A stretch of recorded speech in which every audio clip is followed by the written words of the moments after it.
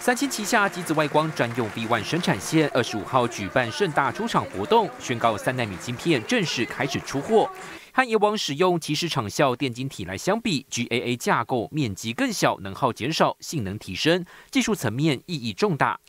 이번에양산을개시한3나노 GAA 공정은미래높은성장이예상되는응용처들이대응에핵심적인역할을담당하는한편 三星抢先台积电推出三纳米，试图在二零三零年之前超越台积电。根据三星公布第二季财报，营业利润来到十四点一兆韩元，相较去年成长百分之十二，净利十一点一兆韩元，也优于市场预期。三星预估二零二二下半年智慧型手机市场呈现个位数年成长，手机个人电脑储存晶片需求将减弱，但伺服器晶片需求动能持续，仍旧看好 HPC 高效运算以及五 G 需求在下半年保持稳健。Samsung is under huge pressure, to, uh, having to expand their client for their for their foundry business, which they aim to grow uh, as big as TSMC, which is the biggest uh, foundry company in the world. 三星日前宣布呢，未来五年投资三千五百六十亿美元，配合政府半导体大战略。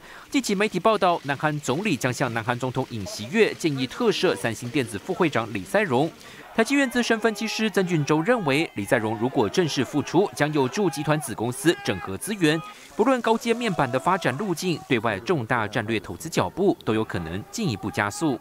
新台电视黄亮杰、沈维彤，台湾台北综合报道。